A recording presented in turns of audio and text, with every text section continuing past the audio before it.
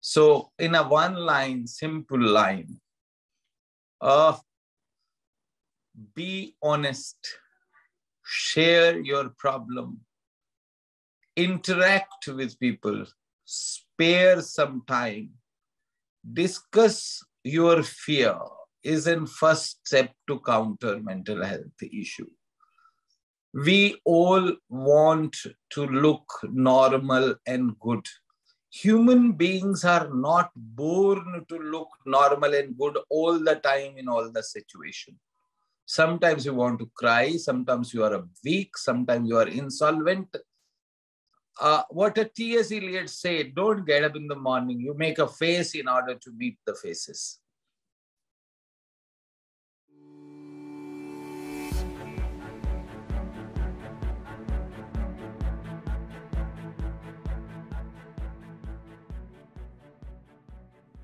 Hello and welcome to Dinis Guarda, Cities ABC Open Business Council YouTube podcast series.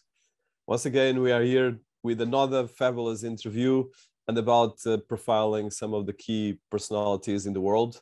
And as well, talking about what makes the, um, I would say, our times more exciting, and as well, learning from each other, from different experiences, from different, as well, ways of looking at uh, technology, to life, to our cultures, and to the operating system that is what makes humanity.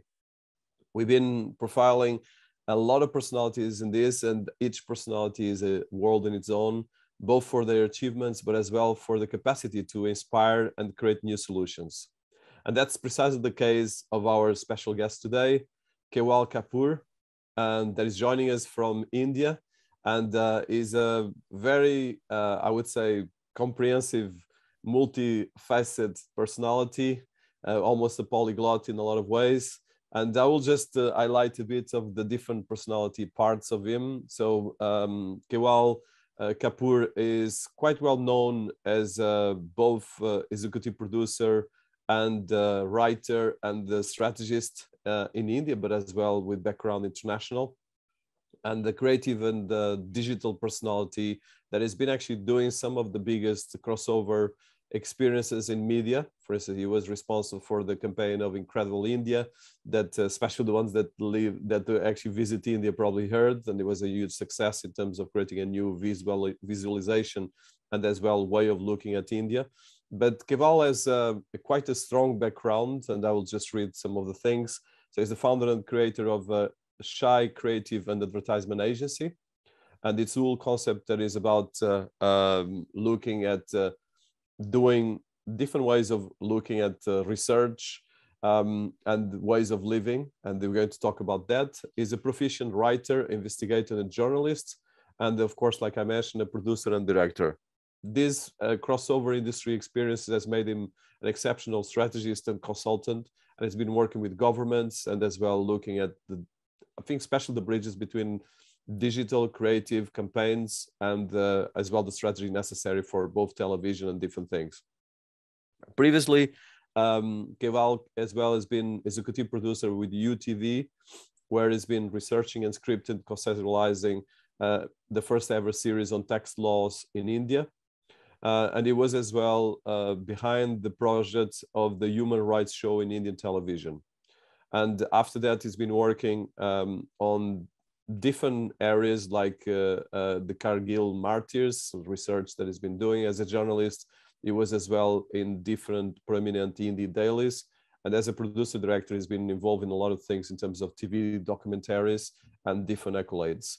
Um, in terms of uh, his background, uh, he is on the advisory board of Poddar Foundation and has played a key role on the mental health and mental health brand Silence Todo, and this company, CHAI Kreative and Advertisement, is duly recognized in terms of the government of India, and as well has been looking at uh, new mandates for adv advisory, advertising, and marketing, including digital ecosystem of the larger affordable uh, housing companies in India. And as well, recently started a podcast that probably yes. is going to be speaking as well here. So that's much more achievements, and I think probably one of them I would just highlight that um, uh, Kewal has been synonyms of uh, extensive work and the multi-crossroad.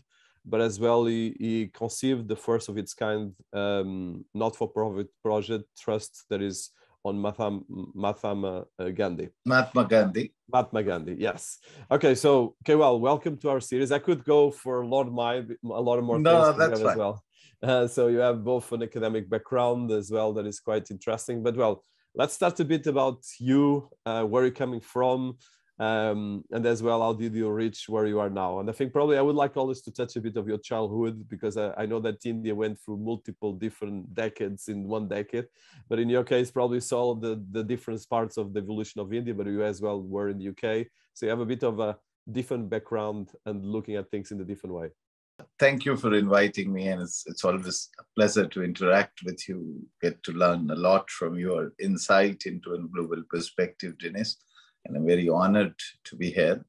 And uh, so, uh, talking about my childhood, what I'll do is that I quickly touch and move on rather than going into the detail. I was born in, in a small town in India, which is a central part of India. It's called Madhya Pradesh a state. And I was born in a city like what is called Indore, which traditionally is considered to be the hub of Hindi journalism which is one of uh, the prominent language, which is like about 63% of people in India speak that language. It has actually contributed a lot of uh, writers of a Hindi literature background and in Hindi journalism as well. So I did my schooling from there, but uh, that's that's a bit of a struggle because I lost my mother when I was 11 year old only, and I was in school. So we all shifted back to Delhi and uh, that's quite an interesting thing. Within three years of my life, at the age of 14, I ran away from home and uh, did whatever I did till date on my own. So um, I completed my schooling. I did join the evening college and completed commerce graduate. I was an activist in democratic right organization. Then, as you read, uh, you know, as you said that then I was involved in BBC's couple of projects. I uh, have created uh, what I wanted to mention is specifically that I created a lot of innovative project in this country. So first one was a human rights show, which was never ever done. Second was the tax of finance is considered to be an extremely difficult area and people don't understand it. So making a documentary show entirely of 13 part series, that too with the KPMG. So it was the first series of tax laws done for the government of India. That was one of the things. Then I was involved in the biggest portal on sports in India, which is Commonwealth Sports Portal. That is one of its kind. I was also involved in one of the Encyclopedia of Gandhi, which was at that point of time released by the Prime Minister's office, London, India, both. And it in those days was trending on a Twitter, which we today talk about nonviolence and peace. So these are one of things that I did. And my college is like commerce graduate, and you know, I did a lot of things. So it's very difficult for me. I, I produced and directed short films, almost about 30 short films or short capsules of different kind. Uh, one of the things which I'd like to mention is about the aging, which is elders. That's the area where I'm very passionately involved into also, is I have not approached that from the point of view of uh, not for profit, but in social impact business. Uh, we brought a change in the government of India policy. Second Life now recognized by and large by one and a half year of our efforts into it. at the largest production, Return of Million is mine and as an exclusive partner till date with the government of India on aging. Oh wow, that's quite impressive. So so let's talk about. Um, uh, I would like. I always like to go the personal level. So from your background, like you mentioned, you lost your mother quite young, and um, you went through all these kind of shifts in India. And India, of course, is becoming one of the biggest economies in the world. I think it's going to be the second economy by 2050, more or less, or probably even before. And is, of course, 1.3 billion people, and uh, it has one of the most I would say most uh, heterogeneous civil, civilizations ever because it has probably the number of languages, the number of uh, uh, cultures, religions, and so forth. So can you tell us a bit about that background of yours because you you've been on strategy and strategy is about culture and know how to deal so, with it. so, so, a bit of your personal so, background with the background of india okay okay so I, I was born and brought up in a small town which now is one of the cleanest town under the clean drives of india it's a indore a cultural hub hindi but then been in. i lived in about almost six states delhi bombay uh, varanasi ujjain in Gumla and Chaiba. So these are different parts of India, different states, you know. Now, if I talk about a multicultural audience, there is a saying in Hindi, ek kos par pani, do kos par bhasha. In every spoken languages changes like within a hundred yards and a written language changes in 200 yards. That's how there is a popular saying in Hindi. Uh, interesting part of this is when the constitution was made, the state were recognized on the basis of linguistic identity. So, so the, the, the, the language became that the state was, you know, created on. Uh, by and large, if I talk about Hindi is the largest speaking language in the country. About 63% people speak, read and write Hindi.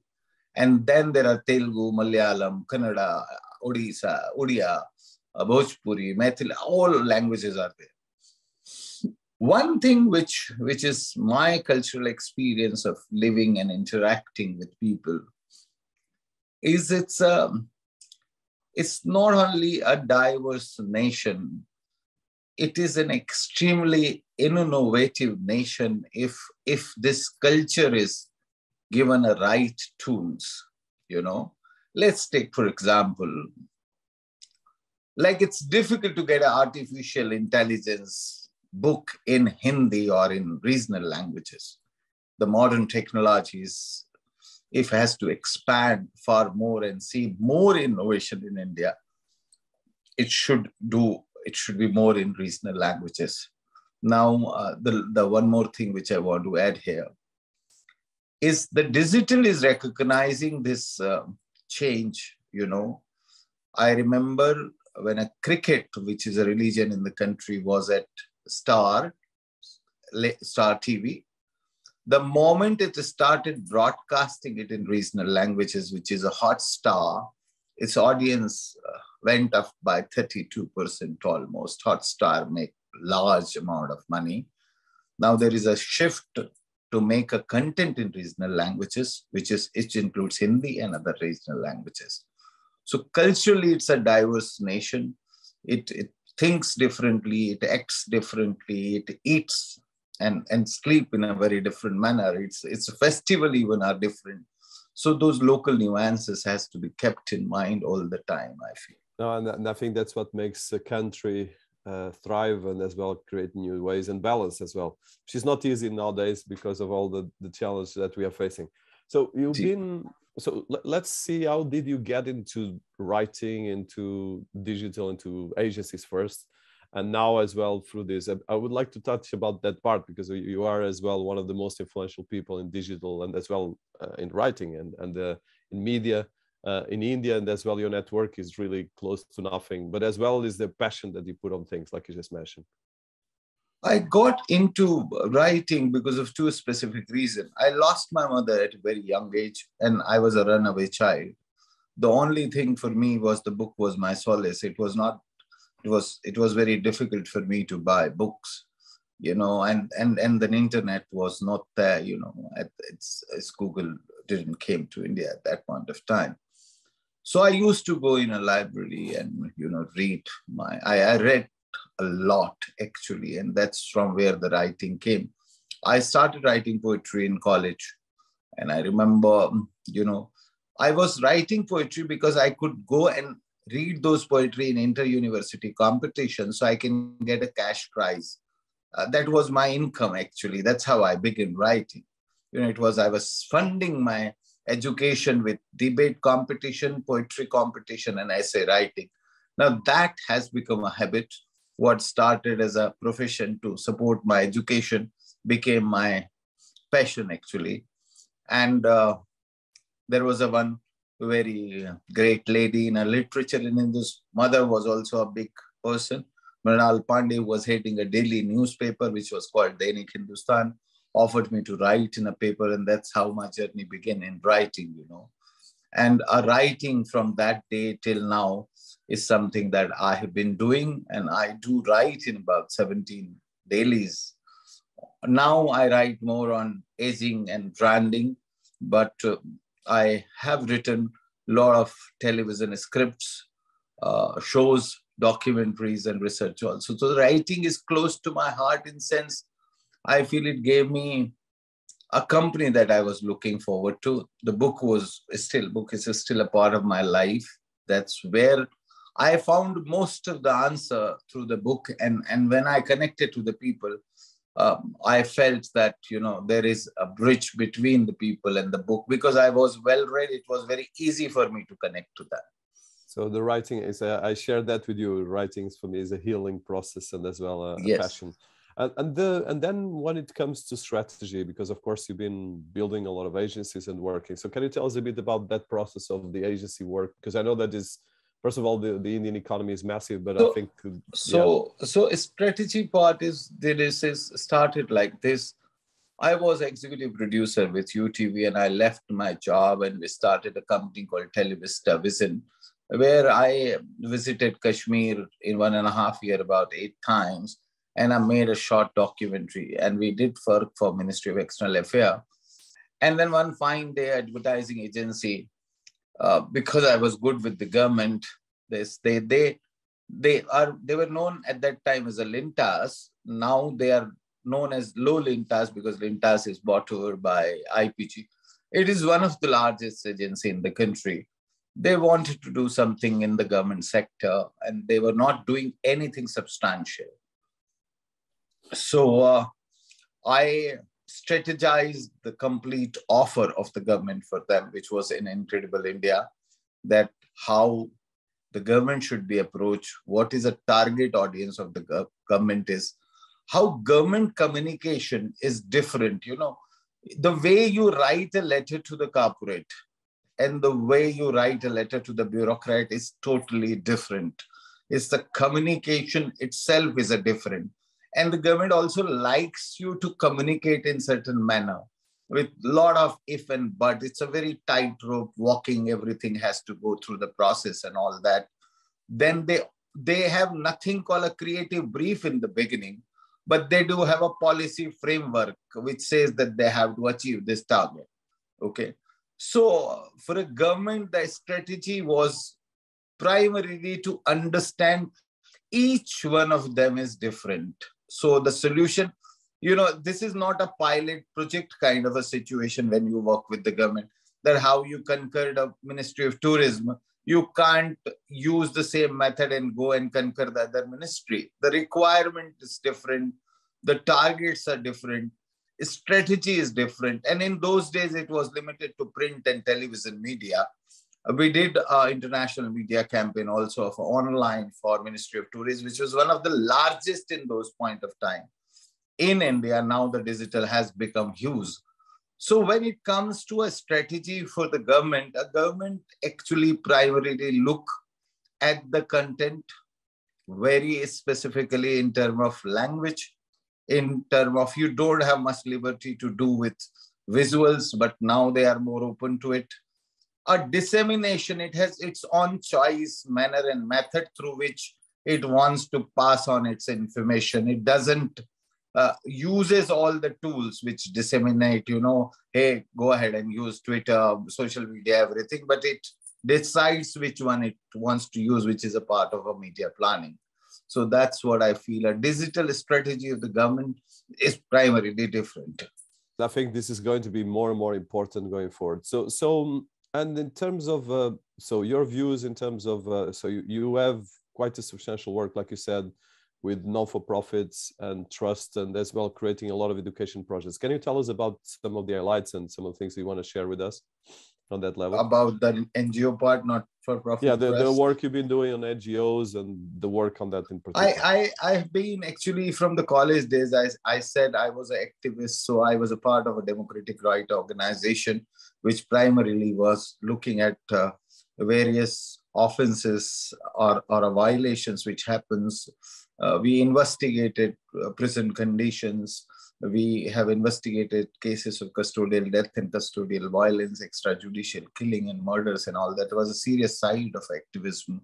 Uh, but uh, as later on, then the I, as I said earlier also, then I was involved with Poddar Foundation in sense of a mental health brand because I see what we were talking in those days now is becoming more and more important and relevant because mental health is going to be one of the areas where is going to be a biggest crisis now. And there is definite shortage in terms of whether it's a counselor whether it's a clinical psychologist whether it is a psychiatrist whether it is a content that can empower you know people are not even aware of what the mental health problem so i did worked in their area elder space also I worked in. I worked with children's too. You know, it was an interesting, that was a foundation actually, which was promoting peace and non-violence. So the challenge was the kids who are exposed to these gamings, the parents' complaints are they are becoming more and more aggressive and violent. So it was a challenge. So um, I did and this interesting talk in a sense that we made call to 10,000 people and asked a simple straight question uh, that uh, who is their hero? So everybody picked a bollywood or a hollywood example or, or a digital example. Nobody picked the example of uh, mahatma gandhi let's say. But they were all knowing about mahatma gandhi. So so when we asked do you think mahatma gandhi was brave or a coward so they most of them said he was a brave but then we said that he didn't had a six pack you know so he was he was a strong or courageous or not. So they all said yes he was a strong and courageous and that's how the non-violence um, project came into existence the peace project. Uh, that's one of again which i feel there is a large scale work is required across globe which digital can make it possible um, peace and nonviolence is not a part of curriculum which is not part of our daily life. It is not part in our school classroom. It is it is not there. So when i see a lot of violence across the globe or when i see a lot of conflicts around the globe i think that is one of the reasons where digital can possibly provide solution that have a piece as a or a value as a part of your curriculum or growing up so no, completely. And I think this is uh, one of the things that I think, uh, like you just mentioned, is going to be more increasingly important for everything we're doing. So, one question I have for you on this level is: so when it comes to um, to the work we did with the Poddar Foundation and mental health, which is an area that, like you said, is going to be increasingly more important. Can you tell us a bit more about that work and as well some concrete things? Because of course, I think everyone right now is is having more and more, I would say, more and more um, I think attention, especially with COVID 19, this brought a lot of attention to this. But at the same time, there's still a lot of, uh, I would say, prejudice and afraid, a fear of facing these problems. And I think uh, um, as we get more technological, there will be a lot of other problems that will be as well coming out of this. I would like just to hear a bit of your overview on that. So I, I can tell you uh, uh, more on this because I interacted with a lot of elder people which are above 60.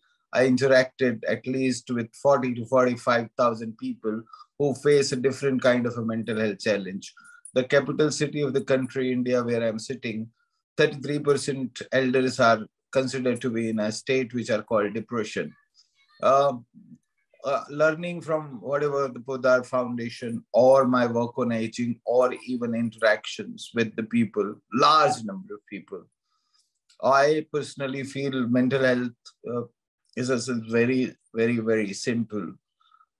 People don't invest time from the childhood till the elder age.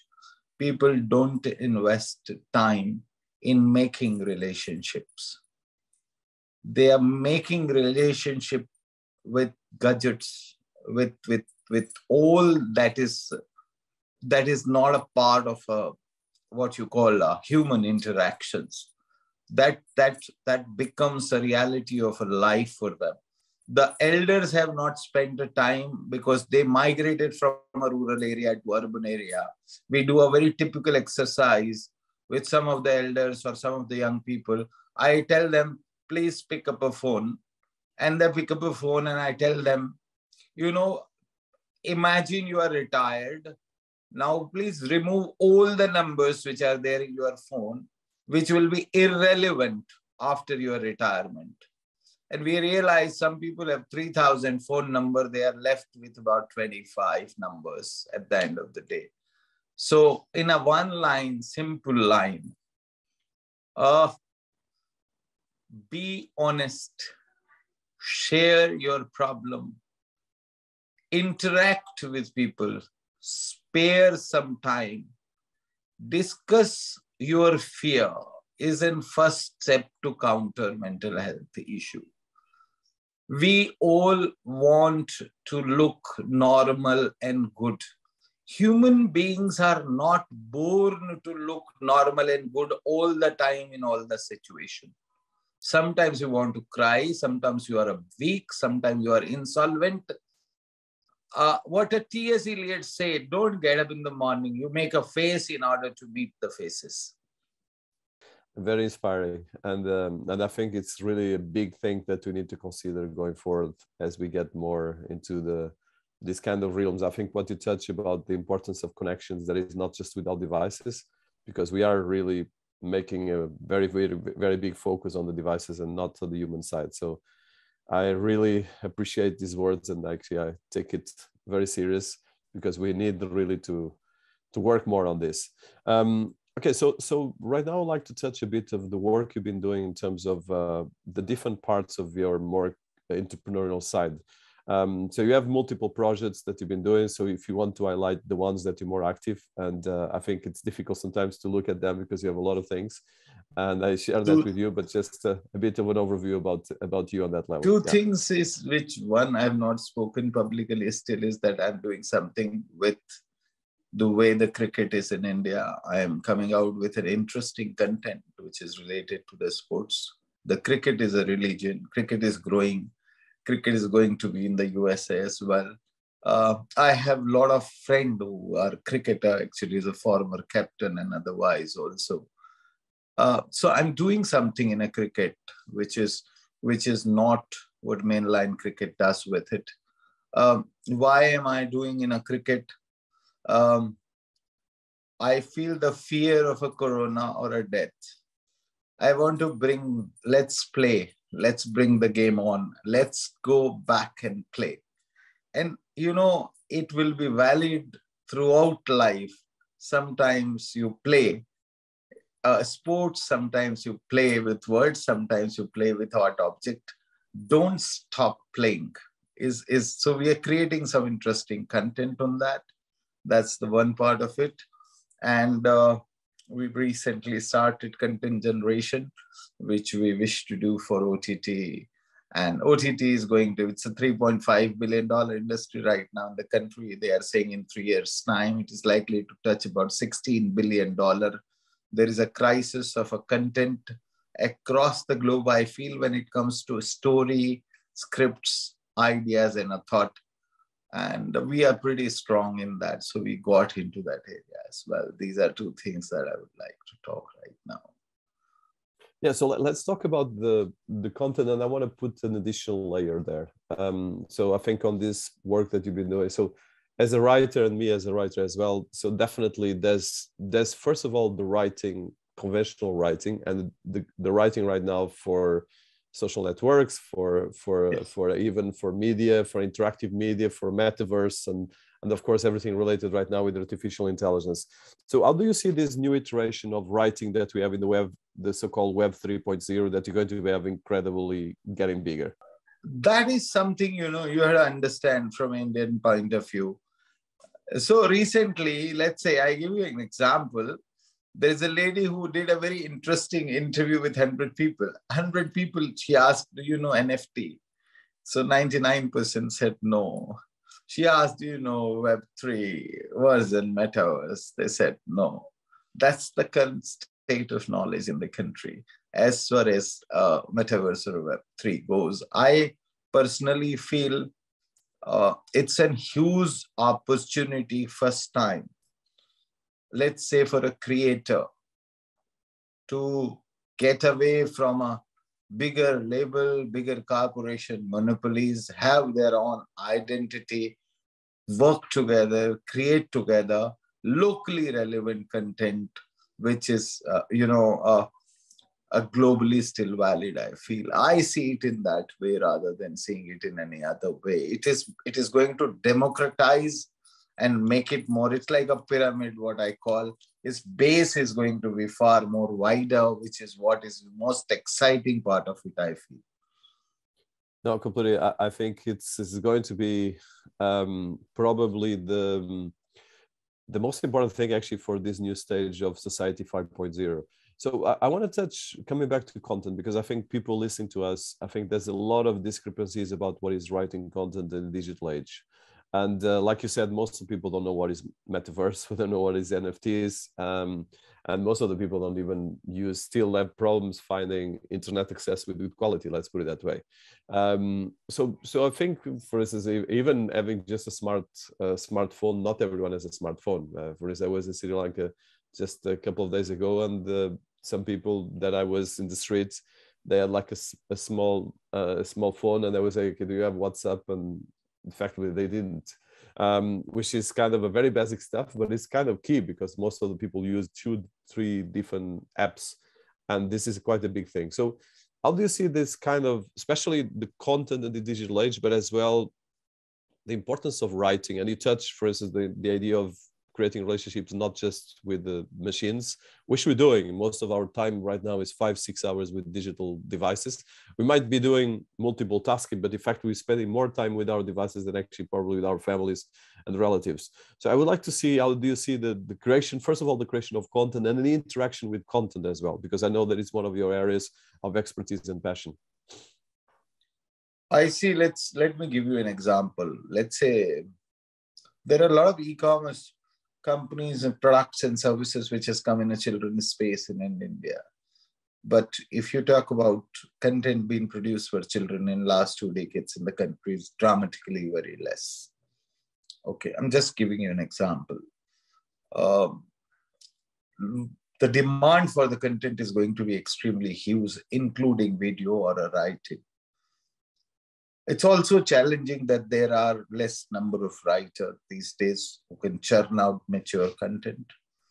So I see that this is this is a lot which is going to happen because in last two week I am seeing almost three big international companies uh, announcing, let's say, they will be going in OTT and content, and everybody knows the content is going to be the main area. So there is huge amount of investment which is happening.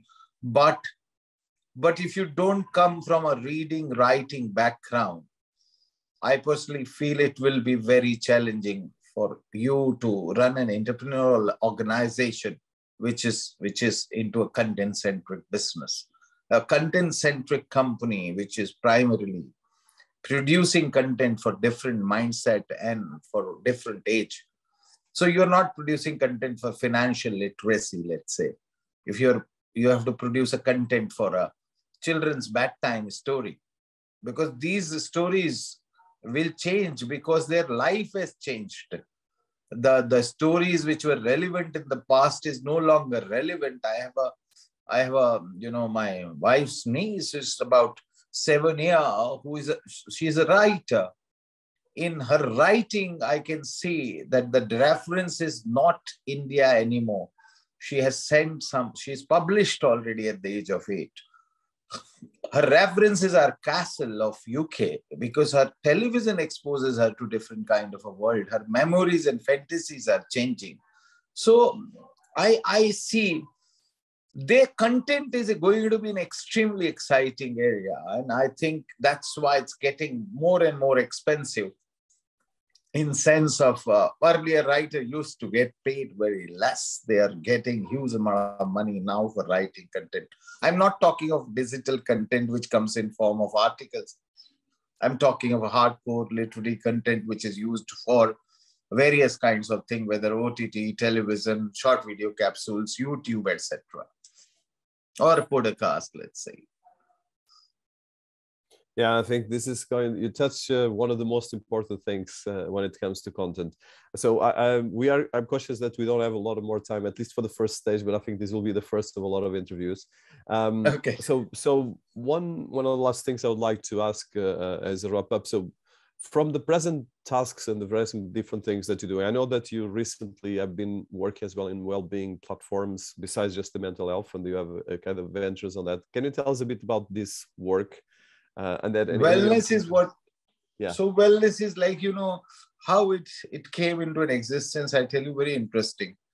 If you go back to 2019 December, our first news, which hardcore researcher was knowing, who was who's like a terminator of a Google was knowing that there is some news of some strange death happening in China.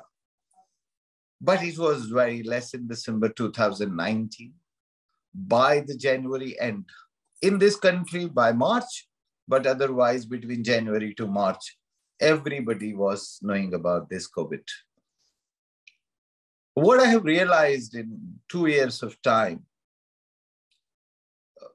people don't want to die. I think nobody wants to die ever. Okay, that's that's the truth. But people now don't want to be sick also. That is the one worry which has been added. That worry was there, but they don't want to be sick. Or I will relate it to in Indian rupees there are about 619 million people, they are saying, in last two years, we just started spending 4,000 rupees, which is every month on a wellness, you know, 4,000 rupees would be approximately, let's say a $1 is about 60 rupees.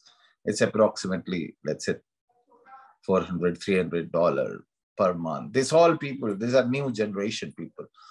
Wellness is more prevalent amongst 19 to 35 year old people. So, like if I type in a Google, I want to remain healthy. What is the answer that Google gives it to me? I did this for myself. How to remain healthy. It gives me thousand options. I cannot say which one is relevant. First option it gives me is of the companies which has put some money to pop up their ads in the Google advertising. So I gone back to the ancient text in tribal history and Ayurveda. And I picked up certain things where there are no controversies. And I'm trying to generate a content which these health companies can use to empower their customer so they should know what is useful. If if you're taking something in your mouth uh, you have to understand one thing with this. However you exercise however much you run whatever that you eat even if you take care of your mental health if you are not happy you will pop off. That's the key now, how to be happy is, is what wellness comprises of, as per me. So we're trying to create some very common sense content. It's it's really uh, I think is a masterclass on that level how you do that, and I think that's probably yeah. be one of the most important things for our civilization is how we replace part of the balance of cultural, our tribal systems, our religions, with a more well-being based uh, lifestyle that is still very important. So um, I think for today we're going to finish here because we have both time commitments. Okay. Um, but uh, I'm very excited probably to keep a second one to talk about more yes. about India uh, and some of the other things. Um, so just as a last um, um, part, could you tell us where people can find your writings? Uh, because of course my audience it's, is not just India. I so have some, where people can find you. I'll put this of I, course as well actually my couple of writings are on, uh, here and there in newspapers and all that i have two published book which i have not put it on digital most of my content, you know, I have to understand when television, um, you know, in 98 until 2002, television was shot on 3 CCDs camera. We used to have no hi-fi studios. So I've been trying to bring this as a digital repository soon. But uh, last one more one thing that I want to, to put in this podcast for everybody, which is which could be inspiring for people when they have a fear of being unhealthy or something. So I just want to share a little uh, information with all of them. A Mahatma Gandhi, at very young age, discovered that he has a too serious problem. One, uh, he was suffering from a severe constipation for which he was under treatment for four years. And he discovered he has a high blood pressure. He took constipation medicine for four years. He did medication for about a couple of months. This was just between 29 to 30 year of age, 33 year of age. Gandhiji was shot dead at the age of 79. He was perfectly fit and healthy. He never took a medicine ever in his life. He survived with high blood pressure and constipation the only thing that he did is that a essential walk. People say he walked so much that it was as equivalent to taking a two round of this earth. Used to walk every day. So uh, being healthy and happy doesn't cost a lot of money. It doesn't cost you a very great gym it's just a simple conviction, I suppose. Now, very important. I think actually for me is one of my favorite uh, exercises, and uh, I think it's we all need that. So, Kewal, uh, I think we'll put the links to where people can find your books and some of your social media yes. interacting as yes. well for your I podcast. Will. And um, and I want to thank you for this time and for these wonderful insights and inspiration. Thank you. Thank you so much. Thanks a lot. Thank you.